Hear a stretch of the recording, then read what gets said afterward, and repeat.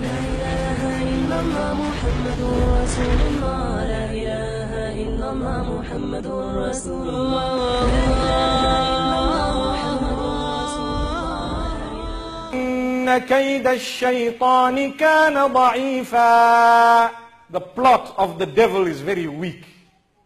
Shaitan's plot is very weak. And if we are to seek the protection of Allah subhanahu wa ta'ala, it won't even affect us. It won't even bother us. So it's important whilst we spoke about the devil that we also speak about how to be protected from the devil. It literally creates a metal armor around you when you read this early morning and every evening for the rest of the day and the rest of the night. And shaitan will not be able to harm you and attack you. There is something known as the evil eye. That is also from the devil. There is something known as jealousy. That is also from the devil. There is something known as envy. That is also from the devil. We will be protected from all this. We will also be protected from the magic that people want to engage in and the black magic and what have you. All this we will be protected from, including being protected from the jinn kind at large. May Allah subhanahu wa ta'ala grant us a deep understanding. For your information, jinn kind is very, very frightened of man. Very, very frightened of man. But when we show a weak link, then he gets excited. He gets excited. You know, it reminds me of a story. Maybe on a lighter note, we could mention this. They say there was a man who was very soft-natured. Very, very soft-natured.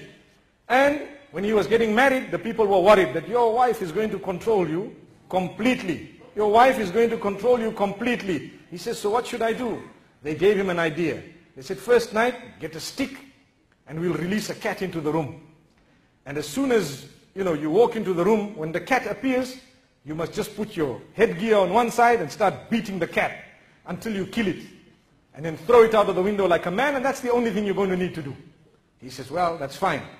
On the other hand, his wife was hearing that, you know, you've got such a soft-natured husband, you're so lucky. So what happened first night, they released the cat, and the plan worked. He beat up the cat, and she was scared, looking at him. This is not what I knew him as. And then the cat died, and he threw it out of the window. And he says, no, I'm sorry about that. He cleansed everything, and it was all back to normal. Every day he would say, I'd like you to do this, or else. Or else what? Subhanallah. Or else. As soon as he says, or else, she's worried that, or else I'll get that whack, you know? Just like the cat. Until some time later, she went back to her family. She went back to her friends. But you people told me this man was soft. They said, no, try defying him once. See what happens.